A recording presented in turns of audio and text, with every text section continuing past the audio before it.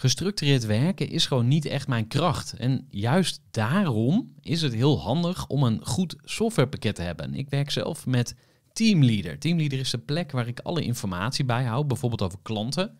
Waarin ik offertes maak en verstuur en die digitaal laat ondertekenen. Waarin ik facturen verstuur, waarin ik lijstjes bijhoud, waarin ik projecten kan managen, waarin ik standaard e-mails kan programmeren. Kortom, ik gebruik Teamleader om alle werkprocessen van mijn bedrijf te stroomlijnen. En zeker ook als je met een team werkt, is het heel fijn om over dezelfde informatie te beschikken. Nou, als je ook benieuwd bent of er mogelijkheden zijn om jouw bedrijf meer te stroomlijnen, of je nu alleen werkt of met een team, ga even naar teamleader.nl slash groeivoer en je kunt dan vandaag nog een trial starten voor twee weken lang, gratis. En je kunt Teamleader volledig uitproberen. En na de proefperiode krijg je ook nog zo'n leuke korting als luisteraar van Groeivoer. Ga naar teamleader.nl slash groeivoer. Gooi voor. Gooi voor. Gooi voor. Zoek je inzicht, inspiratie voor je eigen bedrijf. Wil je elke dag iets leren? Luister dan naar Gooi voor. Hey, wat leuk dat je weer luistert naar de Groeivoer podcast. Mijn naam is Gerard de Velde en in deze aflevering van de Groeivoer podcast kun je luisteren naar een gesprek dat ik had met Mark Wesselink van Venture Rock. En we hebben het over startups, over scale-ups en ja, dat is nog vrij algemeen, maar Mark was ruim 6,5 jaar verbonden aan Startup Bootcamp in Amsterdam. En daarvoor was hij zelf al ondernemer, eigenlijk is hij al heel, heel lang ondernemer. Hij heeft zich uh, met uh, hard werken en vallen en opstaan opgewerkt tot een zeer succesvol ondernemer. Is nu investeerder en uh, onder andere bezig met coöperaties. Dus hoe kun je als start-up samen met mensen om je heen samenwerken. Zonder dat je meteen allerlei ingewikkelde constructies nodig hebt of meteen heel veel van je aandelen moet weggeven. Nou, een interessant gesprek waar ik heel veel van opgestoken heb. Ik hoop dat jij dat ook doet. En ik wens je heel veel plezier met uh, dit gesprek met Mark Wesselink van Venture Rock. Voor de kennis en ideeën van een interessante gast. Die zijn verhaal met jou wil delen. Luister je naar Gooi voor. Uh, Mark Wesselink, van harte welkom bij de Groeivoer podcast. Nou, laten we beginnen in Twente, want daar ben je geboren. Ja. Uh, kan je ons eens kort uh, meenemen door jouw uh, levens? Door mijn levenscyclus, oh. Ja, nee, de, de, geboren in, en getogen in Almelo, Twente. Ehm, uit een liefdevol gezin, ehm, die, waarvan mijn vader kwam uit Geesten, uit boerenland. En mijn moeder komt uit Noord-Holland, Schagen. En uiteindelijk wilden ze samen een modezaak starten.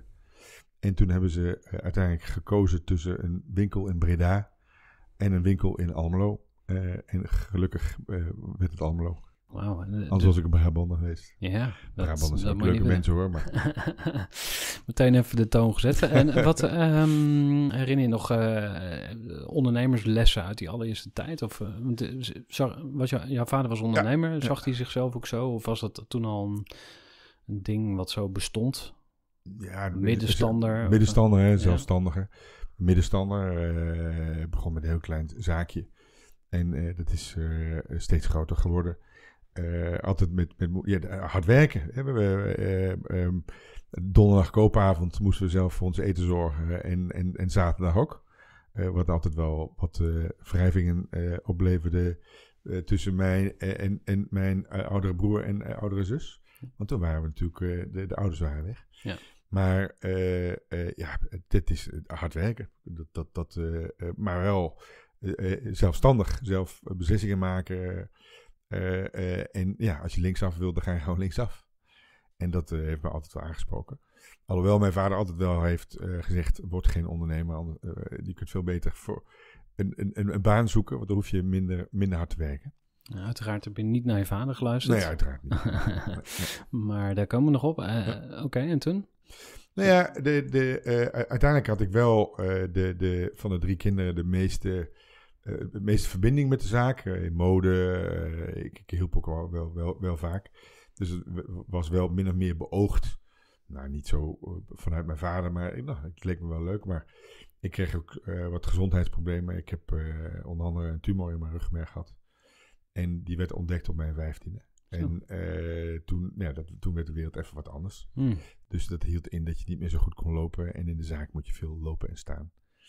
Eh, maar wel eh, gedacht van, nou ja, dan, dan, dan, dan moeten we wat doen. En dan, toen dacht ik van, nou, het leuke is de kennis opsnuiven. Ik was niet zo'n grote studiekoning, maar heb uiteindelijk gekozen om naar Utrecht te gaan studeren. En dan wilde ik iets met cijfers, want dat heb je nodig als ondernemer. En toen ben ik bedrijfseconomie gaan doen op de HAO hier in Utrecht. Het was geen groot succes. Eh, heel veel discussies met leraren, die allemaal uit boeken dingen eh, eh, voor gingen lezen. En toen vroeg ik van, heb je het zelf een keertje toegepast? En toen zeiden ze daar natuurlijk nee op. Toen zeiden ze, waarom zou ik dan naar je moeten luisteren? Waar kwam, waar kwam dat vandaan, die eh Ja, nee, ik vind het gewoon- opstandigheid? Weet geen omstandigheid, eh, maar uiteindelijk ondernemen is geen theorie. Eh, en, eh, en heel veel dingen zijn eh, gebaseerd op, op, op theorie, terwijl de praktijk gewoon veel weerbarstiger is. En ik vind niet dat, persoonlijk vind ik niet dat jij dingen kunt leren als je het zelf nooit hebt meegemaakt. Maar waar haalde die, die zelfstandigheid toen al vandaan, zeg maar? Of dat zelfvertrouwen om dat... Nou ja, goed, als je op je vijftiende te horen krijgt dat je tumor in je ruggenmerg hebt en eigenlijk voor je twintigste in een rolstoel zit en tussen je vijftiende en twintigste iets van zeven operaties hebt ondergaan om je weer aan het lopen te krijgen, dan, eh, gaat, dan leer je wel wat eh, facetten van het leven kennen. Aha, En met name de, de eigen gereidheid daarin. ja. Toen was je in Utrecht aanbeland. ja. Heb je studie dan wel afgemaakt? Of? Nou, nee, niet, gewoon, niet, eh, eh, uiteindelijk in de, in, in, in, in, in de laatste jaar, anderhalf jaar, heb ik heel veel dingetjes ondernomen. Eh, eh, met, met name handeltjes. Eh, ik heb eh, eh, tot eh, vooral het moment dat ik 's ochtends eh, wakker werd om eh, mijn bijbaan te doen. Toen zag ik op, in mijn studententijd nog, zag ik op, een, eh, eh, op, op tv een, een documentaire over eh, James Dyson. eh, eh, die in 1994 zijn eerste stofzuiger op de markt had gebracht. Mhm. En, en toen dacht ik, oh top, dat ding ga ik importeren. Dus dan ben ik gewoon net zo lang gaan bellen. Uiteindelijk naar Engeland gereden eh, met een, een, een, eh, een Utrechtse mede-student. en toen eh, heb ik net zo lang lopen sturen tot ik ze- die dingen mocht importeren in Nederland. Oké. En uiteindelijk heel veel van, van kunnen importeren en verkocht. En uiteindelijk eh, daar een vriend bij gevraagd. Eh, eh, en, en, en, en, uiteindelijk zijn we ook andere dingen gaan ondernemen. Op die manier eh, overal een beetje ingerold. En hoe, hoe kwam je dat netwerk? Ja, dat is gewoon eh, ehm, eh, elke deur, tegen de, elke deur kloppen. Ja. Eh, ik, heb, ik had wel de mazzel dat ik vrij actief ben geweest in mijn studententijd in, in Utrecht. Heel veel leuke mensen ontmoet. Studentenvereniging gezeten of ja, zo? ja, of, eh, ja, ook bij, eh, eh, bij het, eh, nou, het grote gele kasteel aan de Janskerkhof. welbekende koor. Het welbekende koor. Eh, is dat, heeft dat netwerk je geholpen in die zin? Is dat... ehm, Nee, je, je, je, je bouwt in één keer, als je eh, uit Almelo gaat en, en je komt in Utrecht, dan heb je gewoon mensen eh, eh, nodig die je wilt, eh, wilt leren kennen. Want je hebt ook wat te doen. Ja. Eh, je moet ook wat te doen hebben. En dit was een, eh, een, een mooie gelegenheid met eh, alleen maar mannen onder elkaar. En het was altijd heel erg gezellig. ja, misschien ook af en toe te, te gezellig. Maar. ik, ehm, ik zal er niet op doorvragen. je was dus echt al heel vroeg aan het ondernemen. Ja. En kunnen we dan dus nog eh, de, de stap zetten van, eh, van waar sta je nu? Zit daar, zitten daar nog allerlei start-ups eh, tussen? Want ik, ik las eigenlijk met serial entrepreneur. Hè? Je hebt twaalf bedrijven opgestart, waarvan vier ook eh, weer eh, verdwenen zijn. Op wel- welke manier eh, ook? Hoe, hoe vertel jij dat verhaal zo? Oh nee, ik, bij mij, de- ik, zeg, ik, ik, zeg dat ik twaalf bedrijven heb opgestart, vier keer gefaald, twee bedrijven eh, verkocht, één naar de beurs gebracht, maar ook twee keer eh faillissementen meegemaakt. Eh, dat hoort er een beetje bij. Eh, el- elke succesvol ondernemer eh, heeft, eh, is één keer vaker opgestaan. En, en, en, en, nee, maar dat geeft je ook weer een berg aan ervaring, een berg aan inzichten.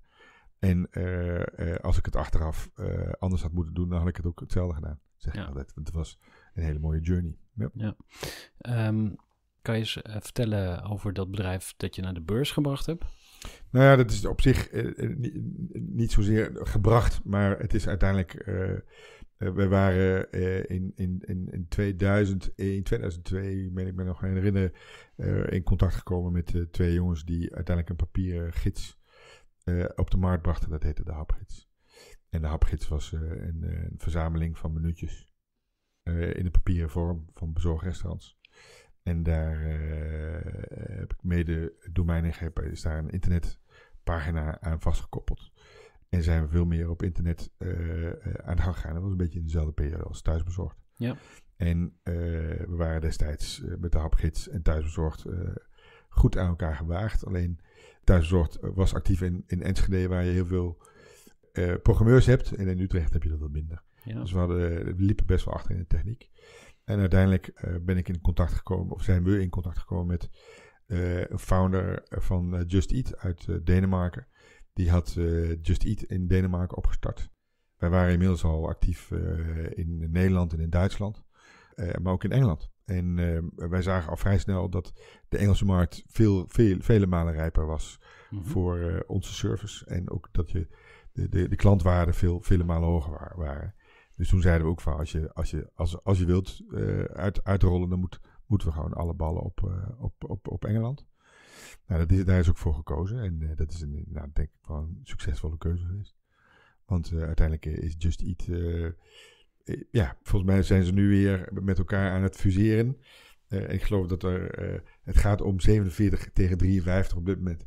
Oké. Oftewel eh 53% eh, voor Just Eat en 47% voor thuisbezorgd. Ja. Maar goed, onze Zuid-Afrikaanse vrienden van Nespers, ehm, van Proces, die is een, nu heeft een, een, een ander bod gedaan. We zullen zien. Ik vind het wel, wel grappig dat eh, we destijds met thuisbezorgd in concurrentie waren. En nu weer. eh, maar goed, ik heb er geen bemoeienis mee. Dat, dat verhaal kennen denk ik maar heel weinig mensen. Ja, maar dat Toch? Ja. hey, en wat is nou typisch voor jou als ondernemer? Want als je zegt twaalf bedrijven Ja. opgericht, eh, denk ik, oh, echt een typische start-up entrepreneur. De eerste Ja. twee jaar heel goed, daarna handjes er vanaf, want eh, Ja. Nou ja, je hebt gewoon verschillende karakters, ja, verschillende kwaliteiten nodig per, per, per fase. Ja. En uiteindelijk eh, ja, heb je twee, twee fases in een bedrijf. Dat is een search en execution. Eh, je moet heel erg aan het zoeken naar een, naar een model wat werkt. En daarna heb je iets gevonden en dan moet je het eh, eh, gaan uitvoeren en vergroten. En ik, was, eh, ik ben altijd heel goed geweest in het zoeken. De onzekerheid vind ik, vind ik tof. Eh, maar dan ook gewoon de juiste schaalbare systemen neer te zetten voor, eh, voor, voor schaalbaarheid. En dan als er elke week dan een overleg moet plaatsvinden, dan ben ik weg. Heb je daar dan eh, veel geld voor nodig? Wat- nee, de, de, de- kan je- kan je de- de- steeds minder, denk ik. Ja. Ja, kan, je- kan je daar eens eh, over uitweiden? Wat, ehm, wat de rol van geld is voor een start-up ondernemer? Kijk, je moet even een groot onderscheid maken in wat nu mogelijk is en wat twintig jaar geleden mogelijk was. Ik gebruik zelf altijd eh, het voorbeeld van destijds in het begin van, eh van Just Eat moesten we de orders sturen naar de restaurants. En die restaurants hadden geen mail, dus die moesten met een fax worden gestuurd. Ehm, eh, eh, en wij, eh, ons ordersysteem stuurde die faxen uit. En op een gegeven moment werden we steeds groter en groter. En hadden we een, een, een, faxbord nodig die toch minimaal 64 faxen tegelijkertijd kon versturen. Hmm. Nou, zo'n bord kost 80, nee, wat was het destijds? 40.000 euro. Dat is best kostbaar. Eh, eh, eh, maar nu, ja, kun je dat gewoon via, of laat staan, het gaat via mail. Maar stel dat je nog fax moet, moet, mo- moet sturen, dan gaat dat met een API. eh, en dan ben, je er meteen vanaf. En dan betaal, je per stuk. Ja. Twintig jaar geleden moest je gewoon een hele website bouwen. En nu kun je iets downloaden van GitHub eh, op Am- Amazon Web Services knallen. En je bent een, een global company. Ja. Destijds ha- hadden we eh, de 80 of 90 procent van onze orders eh, vielen in anderhalf uur. Dus daar moest je ja, je hele serverpark voor inrichten. Ja. En nu kun je gewoon flexibele service inrichten. Dus de, dus de kosten. En het is ook eh, eh, eh, aangetoond dat, dat de, de, factor 50 vergelijkt. Dus je had, je, had, je had 20 jaar geleden had je eh, 50 keer meer geld nodig. Ja. Dus daar zeg je al genoeg mee. denk ik. Ja, dus eigenlijk, ja, dus eigenlijk zeg je dan, je kunt tegenwoordig zonder geld starten. Je hebt, niet, je hebt er niet voor nodig. Jij, Nee. Als jij een, een flexibel adres hebt, flexibele computer, overal eh, eh, wifi en je, bent een, je hebt een website en, en je hebt een, eh, een, een, een, Spaces of een WeWork kaart, dan heb je 300 kantoren over de hele wereld en je bent Ja. een global company. Ja. It's in your mind. Dus jouw geest bepaalt uiteindelijk hoe groot jouw bedrijf is. Oké. Kan je daar eens eh, op doorgaan? Want dan ben ik wel benieuwd. eh, voorbeelden van misschien eh, een bedrijf waar je nu mee werkt of eh, voor zover je transparant kan zijn daarover. Maar Nou ja, ik zag, ik zag tijdens mijn eh, periode eh, eh, met, met, met Startup Bootcamp zag ik heel veel ondernemers echt verschrikkelijk klein denken. En denk echt van, sorry, maar waarom kijk je alleen maar naar een, een markt in, in de buurt? En waarom niet meteen over, over de grens? Misschien dat je wel een goede product market fit hebt in, in China. Ja. Oh, dan keken ze zo. Ja, maar eh, ik wil het liever hier doen. Zeg ja, dat is het verschil tussen eh, wachten tot je succes eh, krijgt of zoeken naar waar je succesvol bent. ja. En hoe ben je op dat punt gekomen dat je zo bent gaan kijken? Nou. Even een korte onderbreking met een belangrijke vraag aan jou. Want wat heb jij geregeld voor het geval je van de ene op de andere dag zou komen uit te vallen? Wat gebeurt er dan met je bedrijf, maar vooral wat gebeurt er met jou persoonlijk en ook in financieel opzicht? Samen met ASR voerde ik drie openhartige gesprekken over tegenslag en veerkracht. En dat deed ik met Saskia, Vincent en Pieter. Ondernemers met een bloeiend bedrijf die van de ene op de andere dag niet meer konden werken. En die verhalen hoor je in aflevering 256, 257 en 258 van deze podcast. Als ondernemer wil je natuurlijk niet uitvallen. En daarom is het belangrijk dat je veerkrachtig bent, want voorkomen is beter dan genezen. En als het dan toch misgaat, is het fijn dat je iets geregeld hebt, zodat je weer snel door kunt met ondernemen. Wil je weten hoe veerkrachtig jij nu bent? Vul dan in twee minuten de veerkrachttest van ASR in. Ga naar asr.nl slash veerkrachttest ondernemers. Nou, ik had denk ik altijd wel eh, eh, de ambitie om meteen over de grens te, te ondernemen. De, de, de, de- Nederland is maar een heel klein polszegeltje. Ja. Nou, ik kwam je tegen eh, bij een avond van de Utrechtse Herensociëteit. Daar was ik op uitnodiging van Clan Verkleij. Clan heb ik ook geïnterviewd voor de, voor de Groei voor podcast. En ehm, wat mij daar eh, meteen naar jou opviel, is dat jij met een soort X-ray röntgenstraling door een businessverhaal heen kijkt. ehm, en meteen analyseert van, oké, gaat dit vliegen of niet? Want toen zei je iets van, ja, ik heb zoveel honderden of duizenden eh start-up ideeën voorbij zien komen. Dat was bij Startup Bootcamp. Ja. Kan je daar eens eh, iets meer over vertellen? Want eh, wat, was jouw rol daar? Nou ja, ik, ik, ik, gedurende mijn periode als ondernemer in Utrecht kreeg ik uit mijn netwerk ook heel veel andere ondernemers naar me toegestuurd. Van, van nou, als je een ondernemer, onderneming begint, moet je maar een keertje bij, bij Mark zijn. En daardoor zag ik heel veel inbound eh, eh, eh, ideeën, maar ook ondernemers met dezelfde vragen. En eigenlijk ook met daarna dezelfde fouten maken. En, en toen zat ik al in 2004, 2005 te spelen met een idee van hoe kan ik daar nu een soort ja, ventje-programma. ik noemde het altijd een, een, wasstraat. Er gaat een idee in en dan komt een, op, en er komt een bedrijf uit. En, en, en sindsdien ben ik daar een beetje mee gaan spelen. Uiteindelijk hier ook in een Drieharingstraat eh eh een pand gehuurd waar we nou, een aantal eh, start-ups eh, hielpen. Eh, alleen ja, toen, toen werd ik in eh, 2008 weer ziek. Dus toen werd voor de- voor de tweede keer bij mij een tumor in mijn rug geconstateerd. En dan gaat de wereld weer even stilstaan Hm. eh, ben ik uiteindelijk een jaar lang uit de roulatie geweest. En uiteindelijk, toen ik terugkwam, toen was de 2008-crisis eh, net voorbij. En toen heb ik wel even wat, ja, wat problemen gehad met een aantal bedrijven van me. Die zijn in eh, zeer zwaar weer terechtgekomen. Ja, en had je een soort zakenwaarnemer dan die dat... Tuurlijk, eh, ik, had altijd een compagnon, maar je, je, je versterkt en eh, je kunt elkaar ook verzwakken bij, bij, in sommige omstandigheden. Ja. Dus en toen hebben we uiteindelijk drie jaar lang alle, alle hens aan dek. Daar hebben we heel veel moeten reorganiseren. En, en toen ben ik uiteindelijk in 2012 weer opnieuw met het idee begonnen van de wasstraat voor, voor ondernemers. Mhm. En, en, toen, en toen zag ik uiteindelijk eh, iets van, van eh, accelerated programma's. En toen ben ik een beetje rond gaan kijken. En toen zag ik dat Startup Bootcamp eh, net was begonnen in, in Amsterdam. En toen ben ik eigenlijk naar binnen gefietst bij, bij Ruud en Patrick. En heb ik mijn verhaal verteld, mijn idee uit 2007. En, en, en, en toen heb ik gezegd van jongens, ik ga hier gewoon zitten en ik zorg wel dat jullie niet meer van me afkomen. Nou, die relatie heeft uiteindelijk zes jaar geduurd. Eh, met elkaar hebben we denk ik eh, een prachtige eh, business opgebouwd. met in totaal meer dan 82 Accelerated programma's. En elk Accelerated programma had 10 bedrijven in, in de Wasstraat. Dus in totaal zijn daar meer dan 800 bedrijven doorheen gegaan. Ja. En hoeveel van die bedrijven leven nu nog ongeveer? Nou, het is altijd een beetje ratio 1 derde, 1 derde, 1 derde. Dus 1 derde leeft niet meer, 1 derde doet nog een beetje zijn best en. 1 derde die, doet- die, die, die, doen, die doen het nog. Ja. Waarvan eh, die 1 derde ook nog 1 derde eh, extreem goed doet. Hm. Dat is een beetje de wetmatigheid. Ja, nee, ik moet denken aan eh, het Pareto-principe. Dus eh, ja. 80-20 en dan binnen die 20 heb je ook weer 20. Dus 4% is geniaal en 4% is echt totale bagger. En dan is gewoon standaard normaal verdeeld eh, natuurlijk. Ja, maar ik denk omdat je met een Accelerator-programma kun je daar ook nog dingen in verstellen. Hè? Dus, dus ik denk dat je wel door goed netwerk nou, en ook ervaren ondernemers nogmaals die, die de, de, de, de, de, de, de kuilen van tevoren kan aangeven maar uiteindelijk blijft een ondernemer een ondernemer. En die is natuurlijk ook s- stront eigenwijs. Ja, want dat is wel een probleem dan. Dat is eh, een heel groot eh, probleem. ik kan daar eens op ingaan. Ja, ja, nou ja, dat, ja de, de, de, de, de, de mate van het eh, opnieuw uitvinden vinden van, van, van wielen van ondernemers vind ik af en toe eh, chockerend. Ja.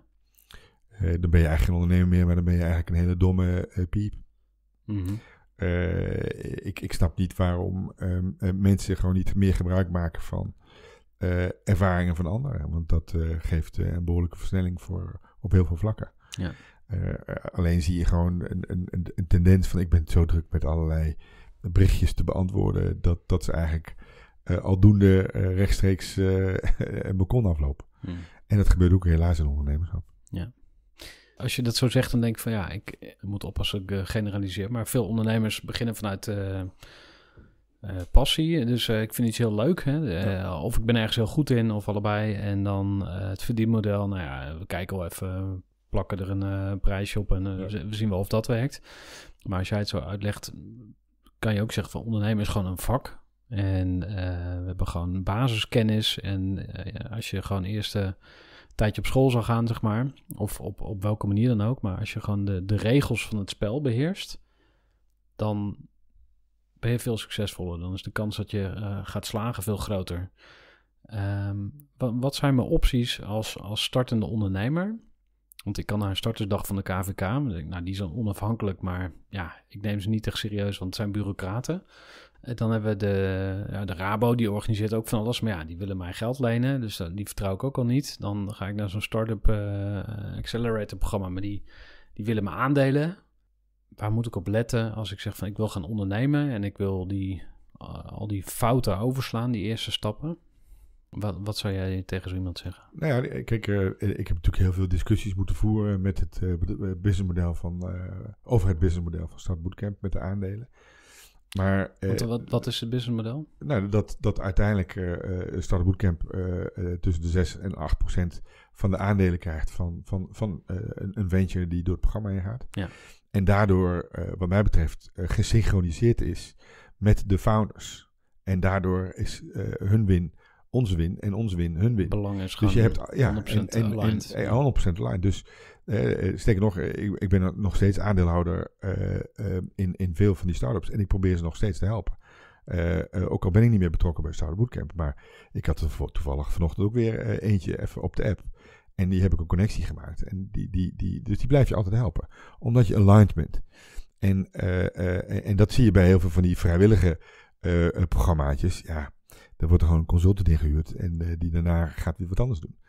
En, en, en ik ben gewoon nog steeds aligned met de startups waarin eh, eh, wij via Startup Bootcamp hebben geïnvesteerd. Dus dat is een voordeel van, van die eh methodiek. Ja, en dan heb je gewoon een netwerk, maar dan heb je ook een expert, oh, een expert, een ervaringsdeskundige. Ja. Want uiteindelijk heb je het meest aan een ervaringsdeskundige Mhm. die het allemaal een keertje mee heeft gemaakt. Die kan jou uitleggen waarom, eh, eh, waar- waarom iets eh, zo, zo, zo, zo gaat. Ja. En, en, en niet omdat hij een boek erover heeft gelezen, maar omdat hij het zelf meerdere keren heeft doorstaan. Ja, dus het is een bewezen, succesvol concept. Ja.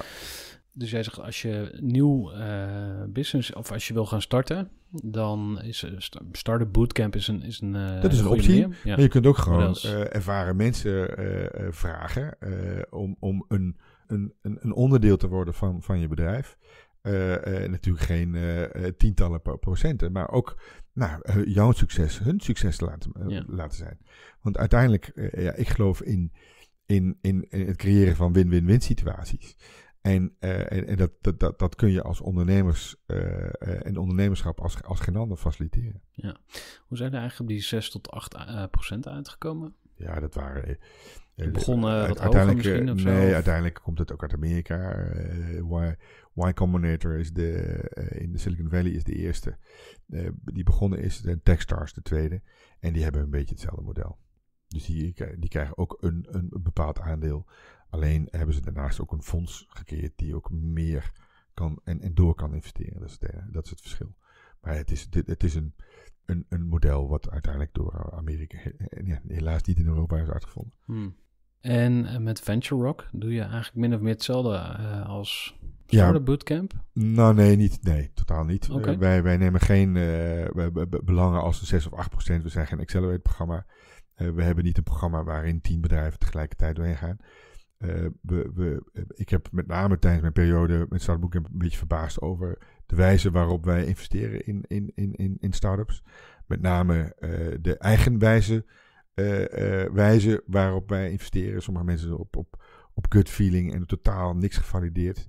we hebben ook heel veel, steeds groter groeiend aantal venture capitalists in Nederland en Europa. Die allemaal op, op basis van ja, geen idee waar ze eigenlijk op basis van investeren. Uh, ik heb me regelmatig verbaasd. En uh, uh, met name ook de kosten die ermee gemoeid zijn. Maar ook het aantal slechte investeringen die ermee mee gemoeid zijn. En, en toen ben ik eigenlijk gaan nadenken van hoe kunnen we nou op een andere manier omgaan met het investeren in, in, in start-ups, startende bedrijven. Die goed zijn, ja, weer die win-win-win situatie, die goed zijn voor alle betrokkenen. Die goed zijn voor ervaren adviseurs, om, om hun kennis uh, toe te voegen aan, aan, aan startups. Die goed is voor de founders van startups, maar ook goed is voor investeerders uh, in die bedrijven. Ja. En, en, en dan ben ik eigenlijk teruggegaan naar waar ik vandaan kom, Twente. En in Twente weet elke boer uh, dat als ik tien kroppen sla wil hebben, dat je uiteindelijk meer dan tien zaadjes in de grond moet stoppen. Hm. Oftewel, ja, als je tien bedrijven wil hebben, dan moet je gewoon meer experimenten doen dan tien. Ja. en want daar komen dingen uit voort. Ja. Dus ook niet meteen al je hebben en houden investeren in één. Ten, ten tweede ehm, kun je op basis van groei door investeren. ja, ik zeg het altijd, te, te veel water op zaadjes, laten de zaadjes rotten, rotten. En dan krijg je ook geen kroppen sla. Uh, dus gooi er vooral niet te veel water uh, uh, in, overheen over zaadjes. Oftewel, te veel geld gaat altijd fout met, Oh ja. met, met, met early stage bedrijven. En, en ten derde, ga niet met een grote trekker over al die zaadjes rijden. want dan gaat er ook heel veel rare dingen gebeuren. Oftewel, als je heel erg veel mee gaat bemoeien in, in, die early, in, in de vroege fase, dan gaan er ook heel veel dingen fout. En, en uiteindelijk heb ik een bepaalde theorie ontwikkeld. En die ben ik nu aan het aantonen dat die werkt. Ja. En die theorie is gebaseerd op uh, een stukje natuur, maar ook een stukje ervaring. Uh, uit mijn periode als ondernemer, maar ook uh, uit mijn periode van Startup Bootcamp. Ja. Je investeert zelf dus, je steekt ja. echt je eigen centen ook in die, in die bedrijven. Ja. tenzij het te groot wordt of zo, en dan haal je er extern geld bij? Of, dan, of kijk je gewoon per keer van wie gaat Nee, nee ik, heb, ik heb nu een, een, een, een, een wat ik noem een investment co-op gemaakt, waarin wij uh, zelf hebben geïnvesteerd, maar ook andere mensen met, mij mee, met ons mee kunnen investeren. Ja. En ik heb heel duidelijk uh, uh, vaste periodes waarin we investeren. We, we, beginnen altijd met 50.000 euro. dan moeten een aantal metrics worden aangetoond. En dan doen we de tweede ticket van 150.000 euro. Dan weer een aantal meetbare metrics, 500.000 euro. En dan nog meer meetbare metrics, groei, maximaal anderhalf miljoen. En, en, en bij ons is de, de, de eerste ticket van 50.000 euro investeren we alleen maar in een bedrijf waarin uh, uh, een minimal viable team aanwezig is van minimaal twee en maximaal drie complementaire founders. En met name complementaire founders in soft skills, ook hard skills, maar soft skills is veel belangrijker. En ten tweede moet er domeinkennis aanwezig zijn in het team. En ten derde moet er een fulltime commitment zijn. En dan investeren wij 50.000 euro. Ja. De complementaire hard skills waar ik naar op zoek ben zijn uh, iemand die veel weet van het product, ja. iemand die veel weet van de business en Ja. iemand die veel weet om de boel uh, uh, aan de praat te krijgen, operatie, operations. Uh, en, en, en, maar daarna vooral de soft skills. Kijk, als jij, ik, ik, ik, ja, we, we hebben tijdens mijn periode in Start Bootcamp hebben heel veel ook profiel, profile testing gedaan. En gek genoeg heeft nog nooit één investeerder gevraagd naar één profile van één, eh, welke founder dan ook. Ja, onbegrijpelijk. Ja.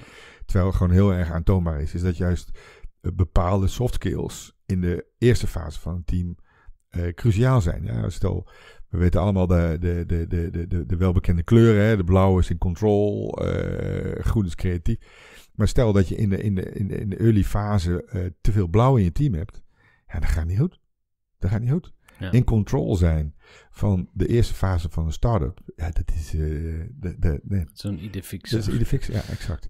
Maar als jij gaat schalen en je hebt geen blauwe mensen in je team, dan gaat het ook niet goed. Ja, ja. Want er moet gewoon wel eh, bepaalde controle over processen zijn. Ja. En dat is het verschil tussen klein en eh, blijven en, en, en groot schalen. Ja. Dus het is juist die, die combinatie van. Hè, het is heel simpel met een voetbalelftal. Zit je niet te wachten op elf spitsen en ook niet op elf keepers. Mm, ja. Het gaat om de combinatie van. Heb jij, eh, als, ben je wel eens in de verleiding gekomen om jouw eh, kennis op papier te zetten? Een boek te schrijven of artikelen? Of, eh, of zit jij gewoon echt in die game en dat is waar jouw plezier zit? Ja, ja, ik ben niet zo'n schrijver. Hm. Ik heb mijzelf voorgenomen om in ieder geval zes blogs te schrijven afgelopen oké. jaar. Nou, er zijn er vijf van ge- gelukt. Ja. En het gaat met name om inderdaad hoe kun je bepaalde dingen, setup voor succes, hoe kun je bepaalde dingen structureren om uiteindelijk zoveel mogelijk factoren weg te halen die een, een succes in de, weg, in, in de weg staan. Ja, Want er zijn er nogal. Hè? Het opzetten van een bedrijf, het structureren van een bedrijf, eh, het opzetten van een schaalbare administratie, et cetera, et cetera. Ik heb gewoon, ja, best, best, ben best wel geschrokken over, over, over de, eh, eh, de, de, de fouten die heel veel ondernemers hebben gemaakt in de afgelopen, in de afgelopen zes jaar. Ja. En dat zijn ook hele domme fouten. ja wil je een uitpikken? Of domme, wat, wat zijn de grootste bloopers eh, of de top drie? Weet ik veel. top, eh, top, top drie is by far altijd eh, slecht alignment van de founders. Oké, dat er gewoon niet heel duidelijk is uitgesproken wat de ambities zijn. En daardoor ook slechte afspraken op papier zetten. ja. En hoe kijk je dan naar ehm, drijfveren? Ja, wat ik ermee Ja. bedoel, dat kan ik hem een klein beetje uitleggen. Maar tegenwoordig in, eh, in business gaat het heel vaak ook over intentie, over purpose, over je, je missie. Eh, ik noem het zelf eh, datgene waarvoor je hier op aard bent gezet. Hè? Dus ik kom uit een heel gelovige achtergrond. Is dat iets dat je op een of andere manier ook meeneemt in het kijken naar die ondernemers? Van Ja. wat heb jij te doen? Altijd de, de why, hè, de bekende golden circles van Simon Mhm. Sinek. Ja, Ik ben er helemaal mee eens. Want uiteindelijk als jij eh, een andermans probleem op gaat lossen, die niet in, in jouw kern zit, Hmm. dan kun jij niet vijf jaar lang aan één stuk eh, heel hard blijven eh, werken. Ja. Heel simpel. Ja. En, en dus je, je, de, de kernvraag is ook altijd, ja, als ik jouw profielen heb van ondernemers, van why, waarom wil je dit doen? Waarom, eh, eh, waarom wil je dit gewoon eh, al je tijd aan, aan, aan besteden? En als, als daar gewoon niet een duidelijk antwoord op komt, ja, dan is dat voor mij ook al genoeg. Dat zegt al genoeg. Hmm. Oh ja, maar oh, ik vind het leuk. oh, ik had niks te doen. Ja, sorry, maar dan ga ik niet met jou ondernemen. Ja. Een, een ondernemer is nogal wat. Hè? Je, je, een ondernemer start iets voor eigen geld en, en, en, en risico en rekening. En, en daar moet je gewoon ook, eh, vind ik ook een beetje beschermend voor opga- opgaan. Want sommige eh, eh, ondernemers hebben natuurlijk heel erg moeilijk met het vinden van een goed businessmodel. En ja, ik heb genoeg ondernemers meegemaakt die nou, bijna de, de, de, het gras van, van, de, van de buren zaten te kauwen, omdat ze gewoon geld, geen geld meer hadden. Ja. En de- de- deze mensen moeten we helpen. Want uiteindelijk geloof ik wel in ondernemerschap. En in ondernemers die de wereld veranderen. Mhm. En eh, eh, eh, eh, die, die, die, die- kunnen vooral in die fase alle hulp gebruiken. En als dat dan wordt verpest door een of andere eh, nou, onwelriekende investeerder, dan kan ik daar echt heel erg pissig over worden. Ja. ja. En ook meerdere keren geweest. Ja. Ik heb het gevoel dat je ook echt mensen gunt om eh, met de juiste mensen te werken. Ja, Om succesvol te zijn. Ja, dat, dat, dat, dat levert zo veel meerwaarde op. Hmm, Je- ja. je- je- je- ik kan gewoon een dag en nacht verschil zien van ondernemers die met andere eh, ondernemers en goede ondernemende investeerders. Eh, dat, dat, dat, dat, dat is een vliegwiel. Ja. Maar als het niet is, dan is dat ook gewoon echt een, nou, een slangenkuil. Ja, ja. Ik heb echt slangenkuilen van, van, van dichtbij gezien. Ja. Dat je gewoon echt denkt van jongens, waar zijn we in godsnaam mee bezig geweest? Dat dit gewoon fantastisch bedrijf eh, met een fantastische eh, vooruitzichten, met een fantastische markt op deze manier is geëindigd. Ja. Is echt gewoon een schande. Ja. Ik zou graag nog een eh, ander eh, onderwerp willen aansnijden. Dat is, ehm, zeg maar, wat, wat- ik fascinerend vind, is de investor mindset. Hè? Dus Ja. eh, voor mij op een gegeven moment was dat eigenlijk best wel een soort eye-opener van... hey, eigenlijk ben ik de grootste investeerder in mijn eigen bedrijf. Ik steek namelijk al mijn tijd, geld, energie... Nou, geld was eigenlijk niet eens aan de orde, maar ook mijn reputatie en vooral mijn tijd. Ja. Ja, dus je, zeker als je het ouder wordt, dan De denk meest je... hey, tijd. waar is het gebleven? ja, ja, ja. Dus je steekt alles wat je hebt, in- of heel veel wat je hebt, in je bedrijf. Ehm, stel je bent nu ondernemer, je hebt al een bedrijf. Wat kan je dan leren van die investor mindset? Hoe, hoe, hoe kan je die manier van denken toepassen op je bedrijf? En welke keuzes ga je dan... Door een hele simpele manier. Hoe zou ik het liefst zelf geholpen willen worden eh, door iemand anders? Mhm. Oftewel, hoe stappen, is voor je leven eh, in de schoenen van een ondernemer. En omdat Ja. je zelf ondernemer bent geweest, weet je gewoon eh, heel goed waar je allergisch voor zou zijn. Zou zijn. Nou, dat moet je dus niet doen. Ja, Eh, en, en een van de meest allergische dingen is als daar continu iemand aan het eind van een tafel zit, jou te vertellen wat je moet doen. Ja. Dus dat gaat niet werken. Ja. Dus als je als investeerder continu iemand vertelt wat, ze- wat ze moeten doen, dan, dan, dan krijg je gewoon allergische dat is met de trekker over de sla ja, rijden, zeg maar. ja, exact. Als je een bedrijf hebt, Mhm. Je kent het eh, verhaal wel, eh, de para- parabel van de gekookte kikker. Hè? Dus eh, Ja. hoe kook je een kikker? Nou, Ja. je zet hem in, in, in een... water precies, en je warmt hem langzaam op. Nou, dit- dit is wat met ondernemers ook gebeurt. Die, die starten een Ja. bedrijf en na vijf jaar blijkt ineens dat het gewoon een van die een derde bedrijven is... die gewoon een beetje aan aanmodderen, een beetje kabbelen. Er gebeurt niet zoveel. Stel je haalt een, een investeerder aan boord. Wa- Wat is het eerste waar hij dan op let? Wat gaat hij dan doen? Oké, hier moet je echt mee stoppen. Eh, weet ik veel, of je moet internationaal gaan, eh, je naam veranderen. Of ze- zeg maar, hoe zou je een soort doorstart kunnen maken? Of hoe kan je je bedrijf opfrissen? Op basis van eh, principes van een investeerder. Nou, dat, dat, dat, dat- nogmaals, de, het ligt eraan wat voor een type investeerder je hebt. Hè. Eh, je hebt actieve en je hebt passieve. Ja. Eh, je hebt natuurlijk friends, fools en families. Die, eh, nou, Jantje, die, die redt het wel. Dus het ligt heel erg aan. Maar in principe zal een goede investeerder altijd letten op focus. Er was ooit een keer een hele kleine goede man. So many things to do. Focus you must. Hè. Yoda, die, die, die zei dat ook tegen Luke. En dat is ook gewoon voor een ondernemer. Want een echte ondernemer, die is natuurlijk, oh, die ziet alleen maar opportunities. Terwijl super, super focus echt eh, eh, cruciaal is in die, in die opbouwfase. Dus een goede investeerder zal in, in eerste instantie je helpen met een eh, focus. De tweede zal een goede investeerder je helpen met ritme. Het creëren van een bepaalde ritme en ook Mhm. een bepaalde doelstelling. Van oké, dit gaan we binnen een jaar doen. Als we dit binnen een jaar willen doen, wat moeten we dan morgen doen om daar al de eerste stap naar te maken? Oftewel, binnen een jaar zijn we naar Rome. Eh, ja, oké, prima. Maar eh, eh, gaan we dan morgen in Vianen zijn? Of gaan we morgen al in de bos? Of Maastricht? Of zijn we morgen al in Rome? Snap je? Ja. Gewoon, dit, wat, wat, wat, hoe kom je uiteindelijk tot het doel? Mhm. Want een van de grootste uitdagingen voor een on- on- ondernemer is ja, gewoon die prioriteiten maken voor de stappen, voor de stappen die, die, die je uiteindelijk naar Rome wil brengen. Ja. En elke on- ondernemer die denkt van ik stap morgen in een trein, ik ben overmorgen in Rome, maar dat is helaas eh, niet, niet, niet het geval. Nee. Ondernemen is gewoon ontzettend moeilijk. Ja. En als dat niet zo zou zijn, dan zou iedereen het, eh, er succesvol in, in zijn geweest. Ja. En het is gewoon niet zo. Want er zijn wel eh, heel veel ondernemers tegenwoordig. Oh ja, iedereen zich Vijf jaar geleden. Ja, hoe- vertel eens, hoe, hoe Nee, beleef jij dat? De, de, de, de- het is alleen maar goed, hè? Ik, nogmaals, ik denk echt dat ondernemers de wereld kunnen, eh, kunnen, kunnen veranderen. Mhm. eh, en, en hebben veranderd, hè? Maar uiteindelijk eh, denkt iedereen ook, denk ik, er een beetje te licht over na. Oh, ik heb een boek gelezen. Dus we kunnen wel opstarten. Eh, een boek lezen is altijd goed. Maar als jij een boek hebt gelezen over boksen, dan zou ik niet meteen eh, in de ring Nee. staan tegen Badr Hari. nee, precies. Want dat ehm, vind ik persoonlijk het zwaarst. De momenten van vertwijfeling. Dat je achter je bureau zit en denkt, ah shit. Doe ik het nou wel goed? En, en dat is vooral omdat ik eh, nu bijvoorbeeld met groeivoer ook opnieuw begonnen ben. En Ja. bewust in mijn eentje, dus als eh, single founder.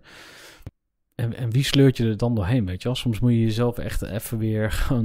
Nee, Ja. dat is ook het voor als je met z'n tweeën bent, dan kun je elkaar doorheen sleuren. Ja, eh, als je succes op, hebt en een biertje gaat drinken eh, om het succes te vieren, is het een stuk gezelliger. Ja. Met z'n tweeën aan de bar. Ja. Maar met name, dingen gaan zo snel op dit moment. Ontwikkeling gaat zo snel, Mhm. dan kun je je upje er bijna niet, bijna niet bijbenen. Ja. En eh, als je concurrent dat, dat, dat wel kan, dan wint jouw concurrent het altijd van Ja. je. En dat, eh, maar goed, eh, eh, nogmaals, het is heel erg eh, ge- gerelateerd aan het businessmodel. Wat voor een, hey, in de consultancywereld is het een ander verhaal. Eh, eh, dus je moet wel echt heel, eh, het heel erg relateren aan het type bedrijf. Ja. En als je gewoon in een advieswereld en een uitzendwereld, dan kun je prima in je starten. En wat als je geen zin hebt om je bedrijf op te schalen? Want er zullen ook luisteraars zijn die zeggen, ja, het is allemaal Opschalen, scalen, scalen. Ja, nee, maar helemaal prima. Ik, ik heb, er zijn genoeg ondernemers die zeer lokaal in Utrecht zeer succesvol zijn. Ja. Ik kan me voorstellen dat jij ook gewoon met een, een, een ja, echt een, een klein deel van ondernemend Nederland valt in de categorie ik wil global scalen of ik Ja, wil... oh zeker. Maar, maar de, de, de, de, ik, ik, ik help, eh, nou, nou, on- onder andere eh, doe ik per elk jaar, eh, help ik het PwC Impact programma mee. En daar zitten gewoon 11 of 16 impact startups. En ja, een prachtig voorbeeld van een, een vader en een moeder van een autistisch kind. Die erachter kwamen dat een autistisch kind verschrikkelijk goed was in eh, coderen en programmeren. Ja. En eh, nu een soort uitzendbureau zijn begonnen in Zwolle met autistische kinderen eh, Oh. te, ver, te, te, te, te uit te zenden als, als programmeurs. Maar, maar dat, dat, dat, dat, ja, dat wordt geen wereldwijd schaalbedrijf. Maar ik vind het fantastisch. Ja. Ja. dus ik help, die mensen help ik ook. Die zijn altijd gebaat bij een bepaalde opinie die wel komt uit de ervaring, maar niet van hun interne kring. Toch heb ik het idee dat jij een ander spel speelt, want jij bent niet ondernemer, maar bent investeerder. Dus een ondernemer werkt in zijn bedrijf en Ja. jij zit daarboven. Eh, ja, maar ik ben altijd wel eh, eh, mee- en voortrekker in het eerste traject. Ja. Dus ik ben zeker, ik, heb, ik, ik noem mijzelf ook helemaal geen investeerder. Nee. nog. Heb je jeuk, is dat een jeukwoord? jeuk, Vertel, waarom is dat een jeukwoord? Nou ja, investeerder eh, eh, doet mij altijd een beetje denken van, van iemand die wat geld geeft en met zijn, eh, met, met, met zijn handen achter de nek af gaat wachten totdat het twee keer zoveel waard is geworden. Ja. En ik ben echt wel een meewerkend voorwerp. Ja. Is er iets, ehm want ik ben gewoon in rapid fire questions op jou aan het afschieten. Maar, wat zou je nog graag willen zeggen, vertellen of misschien aan mij vragen? Of wat, wat is er onbesproken gebleven, wat nou echt cruciaal is? Nee, nee, kijk, ik denk dat we alles wel hebben gehad. Behalve, de- denk ik, het laatste. En, en dat is dat eh, wanneer je gaat ondernemen, probeer eh, dan in ieder geval ook te denken hoe je een, een substantiële waarde aan deze wereld eh, kan toevoegen. Zodat we eigenlijk in de aankomende eh 50 jaar de wereld veranderen ten opzichte van de afgelopen 50 jaar. Hm. En als je dan toch aan het ondernemen bent, dan zou ik daar toch de meeste aandacht aan geven. Hm. Eh, we weten inmiddels dat de, de, de grootste innovaties van de afgelopen vijf jaar in de transitie allemaal, komt, eh, allemaal komen van ondernemers. Dus laten we daar even met z'n allen wat meer ons best voor doen. Ja, klinkt als eh, impact, wat dan ook wel weer een beetje Ja, soft maar daar, eh, daar krijg ik ook jeuk van. Eh, ik vind elke ondernemer die maakt impact. Ja. Omdat hij banen creëert. Maar eh, ik vind het ook te ver gaan om, om, om, om alle impact eh, statuten eh, eh, één op één over te nemen. Kom op. Maar uiteindelijk gaat het om het veranderen van, van, van het paradigma. En, en we moeten echt wel even aan de bak. Ja. Tot slot, zou jij ehm, twee dingen willen delen? Eén is jouw beste ondernemersles en het liefst eentje uit eigen praktijk. Ja. Eh, en je beste eh, eh, tip voor groeivoer. Dus dat kan een boek zijn of een filmpje of een podcast. Of, dus je, je beste ondernemersles en je beste self-development tip. Ik denk dat de beste tip die ik iedereen kan geven, is dat ehm, blijf openstaan. Blijf zoeken naar externe feedback. Eh, ik heb genoeg eh, ondernemers die, ja, sorry, maar dat kan ik niet vertellen, want het is geheim. Of eh, wil je eerst een, een, een, En een geheimhoudingsverklaring ondertekenen? Eh, het gaat namelijk niet om het idee. Elk idee is al een keertje anders, eh, op een andere manier uitgevoerd. Het gaat echt om de uitvoering. En, en, en de uitvoering kun je alleen maar goed doen wanneer je ook de feedback gebruikt van, van zoveel mogelijk in je omgeving. Dus dat, dat is denk ik de aller, allerbelangrijkste tip. Hm. Eh, beste boek. Eh, ik ben een, een enorm fan eh, van een boek van, geschreven door een professor van het MIT, Bill Ole. En het heet Disciplined Entrepreneurship. Hm. En dat is een, een fantastisch boek gebaseerd op zijn eigen ervaring als ondernemer, maar vooral ook als lecturer aan de, de eh, Center for Entrepreneurship aan het MIT. Waarin hij echt honderden onder start-upjes, ja, ondernemertjes, eh, eh, eh, heeft geholpen. En sommigen zijn daar succesvol uitgekomen, sommigen ook helemaal niet. En dat die processen en al die stappen daarin heeft hij allemaal gemapt en op papier gezet. Ja, fantastisch. Super vet. Mark Wesselink van Venture Rock, ontzettend bedankt. En ehm, ja, Helemaal goed. en wie Succes. weet tot de volgende keer. Dankjewel. Nou, tot zover deze aflevering van Groeivoer voor ondernemers. Ik hoop dat je deze aflevering wilt doorsturen naar mensen die je kent als je enthousiast bent. En eh, mocht je het leuk vinden om met mij te verbinden, ga dan even naar LinkedIn, zoek mij op Gerhard te Velde en eh, klik op toevoegen. En dan zijn we binnenkort vrienden. Ik kan niet wachten. Nee, hopelijk ook niet. Oké, tot snel, tot later en dank voor het luisteren. Gooi voor.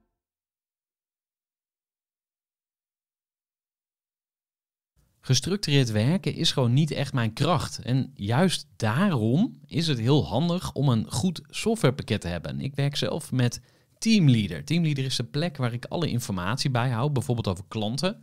Waarin ik offertes maak en verstuur en die digitaal laat ondertekenen. Waarin ik facturen verstuur, waarin ik lijstjes bijhoud, waarin ik projecten kan managen, waarin ik standaard e-mails kan programmeren. Kortom, ik gebruik Teamleader om alle werkprocessen van mijn bedrijf te stroomlijnen. En zeker ook als je met een team werkt, is het heel fijn om over dezelfde informatie te beschikken. Nou, als je ook benieuwd bent of er mogelijkheden zijn om jouw bedrijf meer te stroomlijnen, of je nu alleen werkt of met een team, ga even naar teamleader.nl slash groeivoer en je kunt dan vandaag nog een trial starten voor twee weken lang, gratis. En je kunt Teamleader volledig uitproberen. En na de proefperiode krijg je ook nog zo'n leuke korting als luisteraar van Groeivoer. Ga naar teamleader.nl slash groeivoer.